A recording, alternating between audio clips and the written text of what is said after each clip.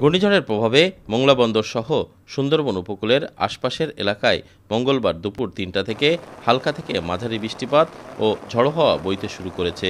বুধবার বিকাল বা রাতে ঘূর্ণিঝড়টি মোংলা বন্দর ও সুন্দরবন উপকূলের উপর দিয়ে সুপার সাইক্লোন আকারে রূপ নিয়ে অতিক্রম করতে পারে বলেও জানায় আবহাওয়া অফিস।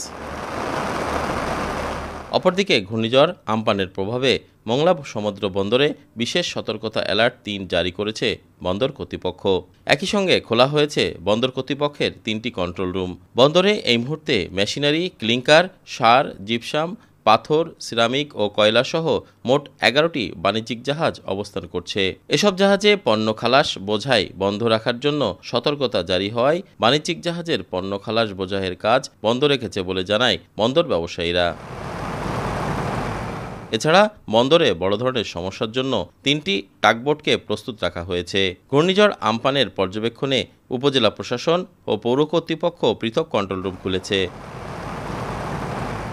এদিকে উপজেলা নির্বাহী কর্মকর্তা সূত্রে জানা যায়, প্রবল ঘূর্ণিঝড়ের কারণে উপজেলার সব কর্মকর্তা কর্মচারীর ছুটি বাতিল করা হয়েছে। পৌরসভা ও ইউনিয়ন পরিষদ মিলে এই উপজেলার স্কুলসহ মোট একশো তিনটি সাইক্লোন শেল্টারে দুর্গতদের জন্য প্রস্তুত এবং দুর্যোগের পূর্বে চলাকালীন ও পরে নয়শো নব্বই জন সিপিপি স্বেচ্ছাসেবককে প্রস্তুত রাখা হয়েছে। সুপার সাইক্লোন আমপানের কারণে খুলনা অঞ্চলের লাখ লাখ উপকূলবাসীর দিন কাটছে আতঙ্কে। তবে প্রশাসনের পক্ষ থেকে যে পদক্ষেপ নেওয়া হয়েছে, তাতে এত বড় দুর্যোগ মোকাবেলা করা সম্ভব হবে বলে মনে করছেন তারা। তরিকুল ইসলাম, সময় সংবাদ, মংলা, বাগেরহাট।